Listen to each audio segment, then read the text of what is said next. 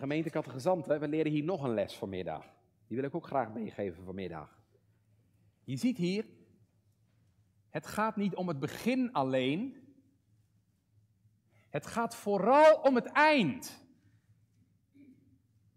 En wat je ziet, Orpa en Rut zijn samen begonnen, maar ze zijn niet samen aangekomen. Dus ja, begin is belangrijk, zeker. Maar het komt er uiteindelijk op aan dat je de eindstreep haalt. Dat is ook wat aangrijpend van deze geschiedenis. Het laat zien, je kunt beginnen en, en toch weer teruggaan. Er hebben hier uh, mensen gestaan die ook beleidenis deden.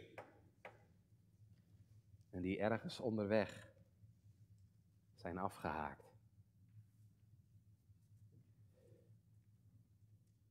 Maar als de Heer in je leven werkt, als de Heilige Geest in je woont, dan wordt dat hierin zichtbaar gemeente dat je volhoudt. Soms door heel veel schade en schande en strijd en pijn en moeite en tranen en verdriet en wanhoop en aanvechting en strijd heen.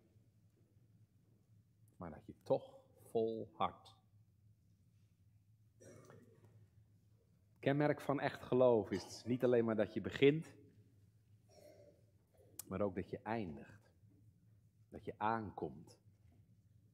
Dat je volhoudt. Dat je volhardt. Wie heeft het vanmiddag nodig om dat te horen? Misschien jij wel. Hou vol. Hou vol.